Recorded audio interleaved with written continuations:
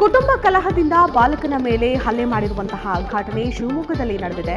ತಮ್ಮ ತಮ್ಮ ಜಗಳಕ್ಕೆ ಬಾಲಕ ಅಂತನೂ ಕೂಡ ಲೆಕ್ಕಿಸದೆ ಹಲ್ಲೆ ಮಾಡಲಾಗಿದೆ. ಭಾರತ ಕಾಲನಿಯ ಹತ್ತು ವರ್ಷದ ಬಾಲಕ ಆಸ್ಪತ್ರೆಗೆ ಸೇರಿದ್ದಾನೆ. ಇನ್ನು ಬಾಲಕನ ಮೇಲೆ ಹಲ್ಲೆ ಮಾಡಿದ ವಿಷಯ ತಿಳಿದ ಸ್ಥಳೀಯರು ಆಕ್ರೋಶ ವ್ಯಕ್ತಪಡಿಸಿ ಗಲಾಟೆ ಕೂಡ ಮಾಡಿದ್ದಾರೆ. ಈ ಪರಿಸ್ಥಿತಿ ನಿಯಂತ್ರಣ ಮಾಡಲು ಪೊಲೀಸರಿಂದ ಲಘು ಲಾಠಿ ಪ್ರಹಾರ ಕೂಡ ನಡೆದಿದೆ. ಇನ್ನು ಬಾಲಕನ ಮೇಲೆ ವೆಟ್ರಿ, ಮುರುಗನ್, ಅಜಿತ್ ಎಂಬುವರು ಹಲ್ಲೆ ಮಾಡಿದ್ದಾರೆ ಅಂತ ಆರೋಪಿಸಲಾಗ್ತಾ ಇದ್ದು, ತುಂಗಾನಗರ ಪೊಲೀಸ್ ಠಾಣೆಯಲ್ಲಿ ಈ ಸಂಬಂಧ ಪ್ರಕರಣ ಕೂಡ ದಾಖಲಾಗಿದೆ.